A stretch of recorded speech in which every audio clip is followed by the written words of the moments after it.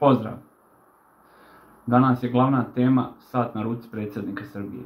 Da li je Patek od 500.000 eura ili Češka prima od 1000 eura. Ovako, prvo vam ovo da kažem. Prvo, ja sam neko ko jeste dovoljno kompetentan da procijeni ovako preko slike da li je to taj sat koji je sinoć bio u hit tweetu i ili je to sat Patek čiju sliku ovamo dijele uz cijenu od 500.000 eura. Nije mogla bolja tema da mi se namjesti da snima.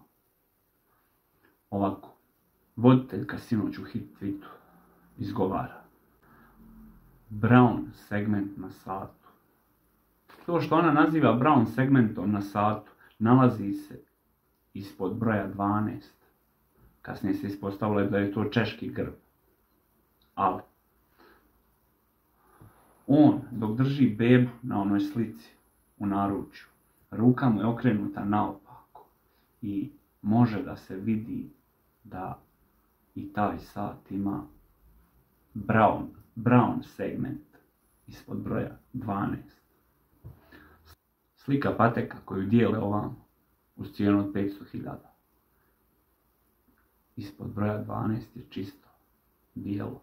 Čak naprotiv, ima iznad broja 6, ima dan noć pokazivač. Tako da nije to taj sat. Nisam bot, nisam ništa, samo sam kolekcionar koji voli satove i ovo sam snimio čisto jer, jer, volim satove. Nadam se ste uživali u ovom videu. Pozdrav za moju ekipu iz grupe Tik Tak Satovi.